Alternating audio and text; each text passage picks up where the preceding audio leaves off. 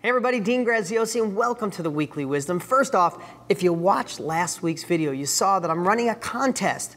I want your story, your self-improvement, your self-development, your personal development story on how these weekly wisdoms or anything I've ever taught in Totally Fulfilled or any of my books and New York Times bestsellers that have helped transform your life. I want your video. I'm doing a new TV show and I'm writing a new book, and I'd love to put you in one or both of those. So, what I did is created an ethical bribe. If you click the link below, you'll get some instructions and submit your video.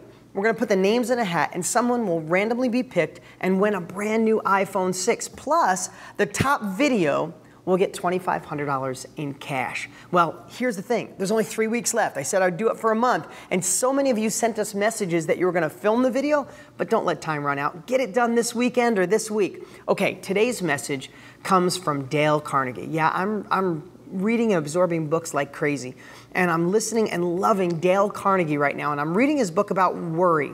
And he goes really deep, because all of us worry about these things. You don't even realize what you're worrying about. But he had a great, great, simple, and I wrote this in my phone, and I'm gonna pull it up. Four things to do when there's a problem in your head. First is, on a piece of paper, write down what is the problem. Define it. So many times we'll walk around and we'll have this problem or be stressed. That there's lots of problems. If you have a problem or multiple problems that are, you know, getting to your stomach or you're thinking about it, write it down. Secondly, what is the cause? This is where you do a little research. Like, what caused this problem? Because if you know what caused it, you could repair it in the future. If you know what caused it, you might be able to look back and decide what things need to change, right? So you really need to spend the time to analyze what the cause is.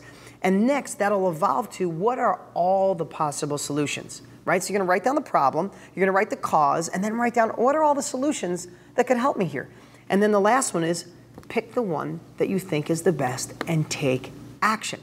I know that sounds simple, but so many times you'll wake up in the middle of the night and you'll think about something the next day, or is my boss thinking this? Is my friend thinking this? Will this happen? Won't that happen? And, and so many times, what's that old saying? Thousands of horrible things happen in my life and a couple of them actually came true. Most of the time, we drive ourselves nuts with our thoughts on what could go wrong rather than the actual event. So do that exercise. And one other thing, as I read this book, that another businessman used that really changed everything in his life was he said to himself, okay, if that's the problem, what is the absolute worst could, that could happen if that was true? And when he said when he accepted the absolute worst, everything above that was okay. So combine those two this week, because even if it's the tiniest little problems that nitpick at you or something big in your life, that little writing it down exercise, those four things, imagine the worst, can really make an impact. I'm already doing it and share. I, I did something similar to that for years, but this one's just so simple. I'm adapting it. I hope you do too. Okay, don't forget, click the link below and send in that video. There's only three weeks left. And lastly, if you don't have it, Totally Fulfilled, my first New York Times bestseller.